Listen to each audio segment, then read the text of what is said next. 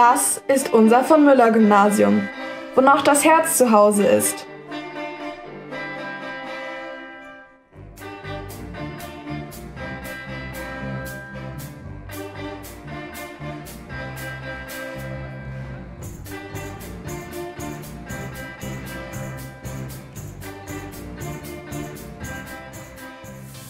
Wer war eigentlich dieser Georg Friedrich von Müller? 1843.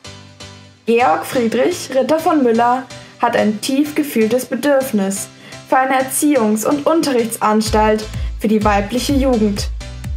Schon damals lag Herrn von Müller die Bildung der Schülerinnen am Herzen. Heute haben wir das auch noch. Und nicht nur mehr für Schülerinnen. Das sagen Schüler heute zum VMG. Warum hast du dich damals für das VMG entschieden?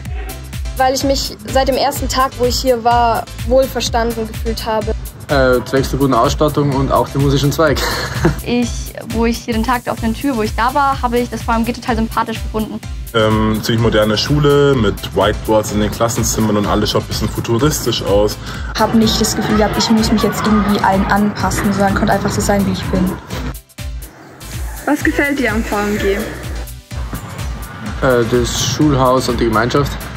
Der Zusammenhalt und dass wir alle füreinander da sind. Das musikalische Zusammenleben. Die gute Zusammenarbeit zwischen Lehrer, Schüler und auch Eltern, dass da immer offen kommuniziert wird.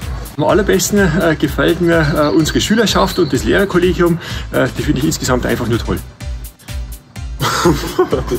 ja, ich musste, ich musste schon kurz Gedanken. Kann man irgendwie Cut machen? Oder? Dass die Schule so freundlich ist und wenn man reinkommt, fühlt man sich gleich wie zu Hause.